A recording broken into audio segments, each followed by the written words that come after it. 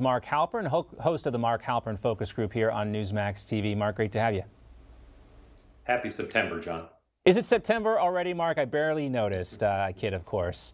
Uh, you know, here on TV, we pass the uh, the months very, very uh, intensely focused on those new months. Anyway, it is what September the 8th. Here we are. So, anyway, a bigger impact on 2022: the Texas election integrity law or the Texas heartbeat abortion ban.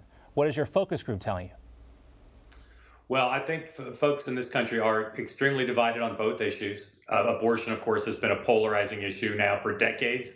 This voting rights issue, newer. But I think you're going to see Democrats assume that they can make hay out of this. I think the media skews in one direction on both those issues. As you know, the Texas law fits Texas in with a lot of blue states that have more restrictive laws.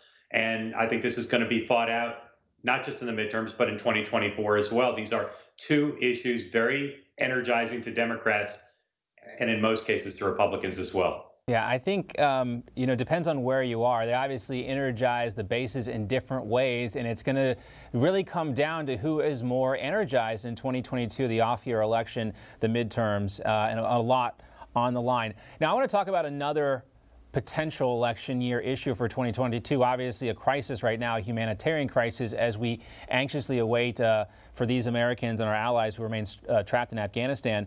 But the Biden State Department is now coming under fire for lying about its involvement in the rescue of an American mom and her three children. I mean, there's obviously reporting on that. Uh, and then we have uh, over on MSNBC contributor David Rohde talking about these Americans and SIV holders who are being prevented from taking off in Afghanistan. Here he is. That is being held up by the State Department and the White House. I, I want to repeat that.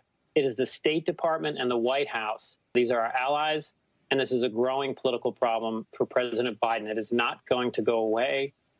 He and Secretary Blinken must address it.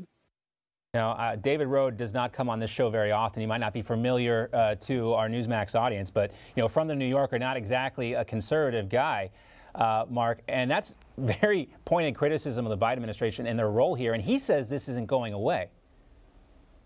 I should say David Rohde used to intern for me years ago, so I'm very familiar with him. Um, look, Joe Biden ran and to some extent won because he put himself forward as the following incompetent, calm, honest, and an expert on foreign policy. And you've seen his polling numbers come down in the wake of Afghanistan, in part because I think I hear from people all the time, including Democrats, unsettled by the fact that those traits are now being widely questioned. This is not good for the country, of course. It's not good for those who are trapped, but politically, for Joe Biden, for the Democratic Party in 2022, very dangerous politically. You know, and uh, David Rohde also shared a story about Richard Blumenthal at a tractor race in uh, Connecticut, which I didn't know they had these things in Connecticut. I always, you know, picture, uh, you know, uh, hedge fund managers and things like that. But anyway, he talked about Richard Blumenthal basically being called out by his constituents. And you know, you see this, and I think you really hit the nail on the head. This is one of those underlying issues that we all believed about America, you know, two weeks ago, three weeks ago, you don't leave Americans behind, and Joe Biden is challenging right that, that right now. Uh, and the effect it has on the electorate, I think, is unknowable at this point. It is unknowable. I mean, obviously, for any issue, we're too far from the midterms to be certain. But this really does undermine a lot of what Joe Biden put himself forward to be as president.